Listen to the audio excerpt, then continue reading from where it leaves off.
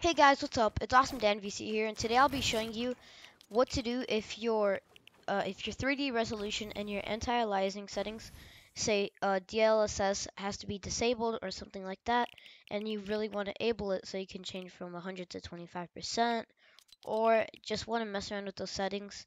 And so today I'll be showing you two ways you could either fix it, and I'll guarantee you like one of the ways will definitely work for you. And yeah, let's get right into the video. So the first thing you want to do is if you have Razer Cortex, if you don't have Razer Cortex, you can just skip a few seconds in the video or, or a minute or so.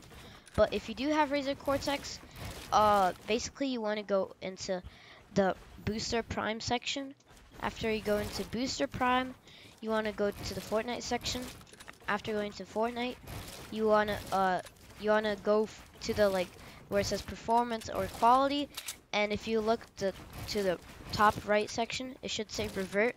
You want to click that and apply all the changes you made and yeah that should work. If that did not work which is the case for me you're here for the right video.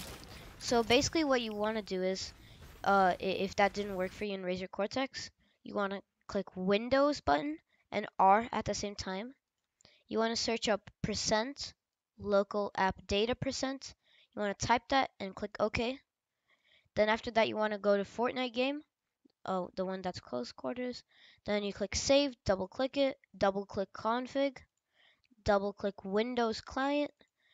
And then here in Game User Settings, what you want to do is just double click like the name itself. And you'll be here, right? And so the thing that actually helped me fix it, because in Fortnite, uh, it should be says DLSS has to be disabled. Right here in the top section, as you guys see, it, the DLSS DLSS quality, yours probably is a one or or two or something. You want to delete it and put zero. After you change those settings and put it to zero, you want to click File, click Save, and then after that you can just close out percent local app data. Then after that, I do recommend you going to the Epic Games launcher and go uh, near to Fortnite. You want to click the three dots. Uh, there should be three dots here. You click those and then you click verify.